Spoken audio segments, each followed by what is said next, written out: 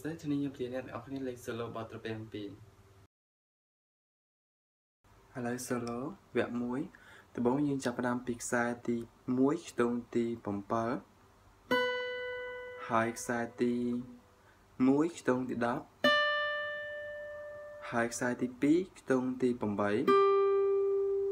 ហើយខ្សែទី2ខ្ទង់ទី10ហើយខ្សែទី2ខ្ទង់ទី8វិញ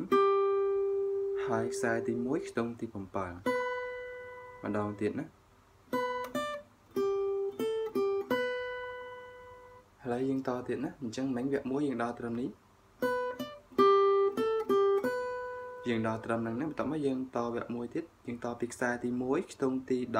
10ហើយខ្សែទី2ខ្ទង់ទី10បន្ទាប់មកខ្សែទី3ខ្ទង់ទី9ហើយខ្សែទី2ខ្ទង់ទី8 ហើយខ្សែទី2ខ្ទង់ទី10ហើយខ្សែទី1ខ្ទង់ទី7ហើយខ្សែទី2ខ្ទង់ទី8ហើយខ្សែទី2ខ្ទង់ទី10ម្ដងទៀតណា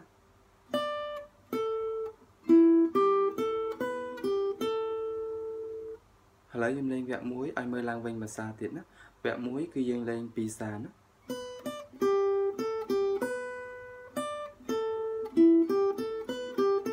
យើងលេងភាសាទៀតឥ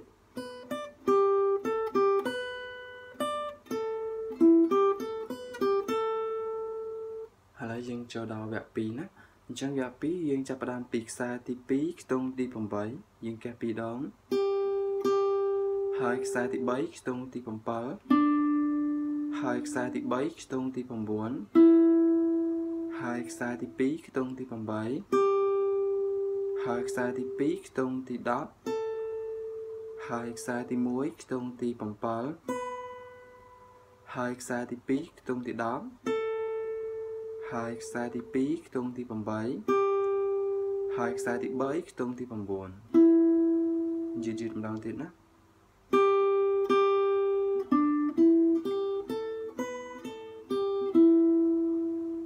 ឥឡូវយើងតវគ្គ2ទៀតណាអញ្ចឹងមិញយើងដល់ត្រឹមនេះ យើងដល់ត្រឹមនឹងហ្នឹងបន្ទាប់មកយើងតពីខ្សែទី3ខ្ទង់ទី7ហើយខ្សែទី3ខ្ទង់ទី9ហើយខ្សែទី2ខ្ទង់ទី8ហើយខ្សែទី3ខ្ទង់ទី9វិញហើយខ្សែទី2ខ្ទង់ទី8ហើយខ្សែទី1ខ្ទង់ទី7ហើយខ្សែទី2ខ្ទង់ទី10ហើយខ្សែទី2ខ្ទង់ទី8 ម្ដងទៀតណាឥ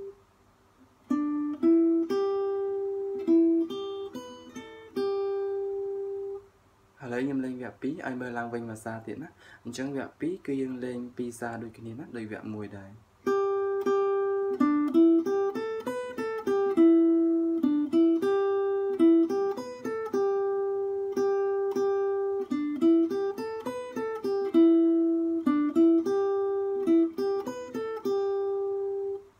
ចុងក្រោយណាយើងចាប់ផ្ដើមពីខ្សែទី2ខ្ទង់ទី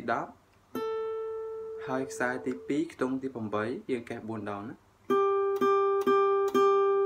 ម្ដងទៀតឥឡូវខ្ញុំលេងពីដើមដល់ចប់ឲ្យមើលឡើងវិញភាសាទៀតណា